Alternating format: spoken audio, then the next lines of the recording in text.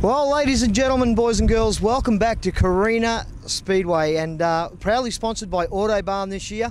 And uh, I tell you what, folks, round number two of these wild machines to my left hand side, the V8 non wing sprint cars. Round number one uh, just a couple of weeks ago, and uh, certainly was an exciting time with six cars out there in the field. And the man that has uh, made this inception a reality, uh, Mr. Peter Basmadjian, mate, you must be very happy with our product. Oh, mate, we are. We're absolutely blown away. And look, we can't take the credit for it. There's a team of guys in WA that, you know, put a lot of hard yards into getting this concept together and, and getting the formula right. And we've been lucky enough to be able to jump on board and embrace it. And, uh, mate, we're going leaps and bounds. The car numbers are constantly increasing. Uh, we've got our um, Queensland title, which we're in uh, Easter, and we've got half a dozen of the WA boys coming over for that as well. So we'll have 20 plus cars uh, on the track by Easter, and uh, that's when things will start to get hectic. That certainly is, mate. We've gone from six to eight tonight, and that's an exciting time already. We've jumped up two cars from round number one, and uh, the man in the 77 was certainly the man to watch, Kevy Hill.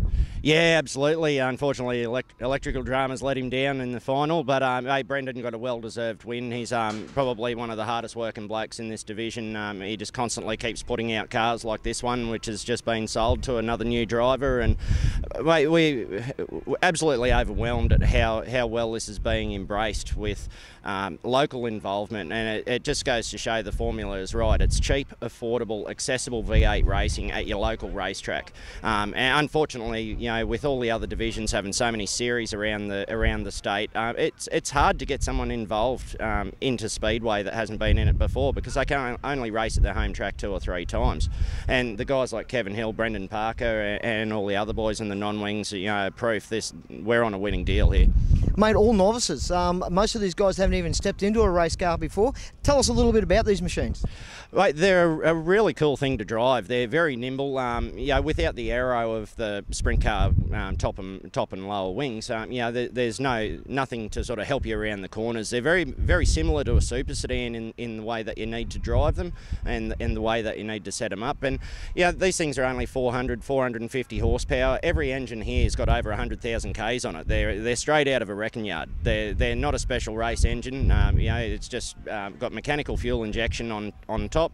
Um, very all the same components as a sprint car, except for the throttle body itself. And that's the way that the boys designed it. Was that it is an entry level to sprint car racing. It's not.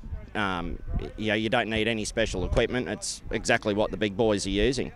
LS1 5.7 litre V8 straight out of the Holden Commodore and uh, and bolted straight into this very lightweight frame, as you said, mate. Uh, round number one was an exciting thing to watch. Uh, live feed around the world. We got some great coverage.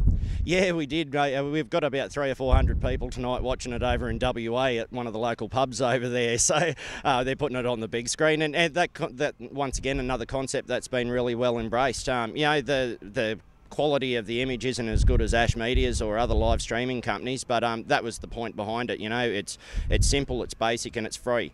You can get a taste of what what we have happening here at Autobarn Carina Speedway, and hopefully that entices people to come back next time. Exactly right, and a great way to uh, you know those people that might be interested in getting into one of these things, uh, they can have a look at it on the live feed. Doesn't cost them anything, and uh, get in contact with yourself or Kevy Hill, and uh, all of a sudden uh, our numbers jump from eight to maybe 12, 14, 15 cars.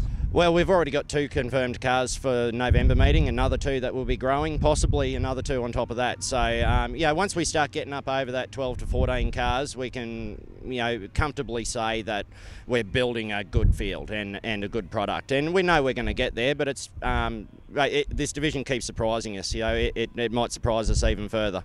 Exciting times, mate. I know that you uh, certainly want to get a couple of the uh, the Yanks out here, give them a go, uh, even a couple of the local cars maybe if they don't bring their own, and uh, I'll tell you what, that would certainly be uh, one way of lifting the profile of this class well and truly at Carina Speedway. Yeah, I can't say too much. There's a few things in the wings um, that we've been working on for quite a while, um, and yeah, with a couple of other divisions, we're trying to combine some stuff. And there's some well-known drivers um, in other divisions that you'll see driving some V8 non-wings shortly. Um, some of them could be just guest drives, and others might be full-time.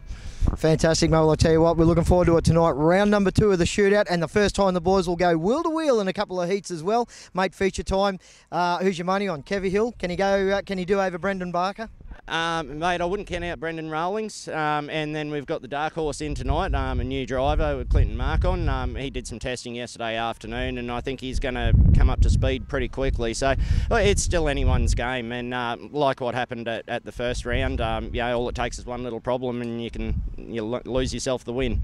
Well, as you can tell, folks, the boss is very excited, a massive smile on his face. He's absolutely loving it. I know the crowd are certainly enjoying it, those that are watching it on the live feed. Ash Media bringing you all the action tonight. I'm Steve Mackin McCullough. I'll be calling it all for you along with Terry Hoff. Folks, Autobarn, Carina Speedway, it's the place to be tonight. Keep your eye on us, and uh, we look forward to catching up with you very shortly.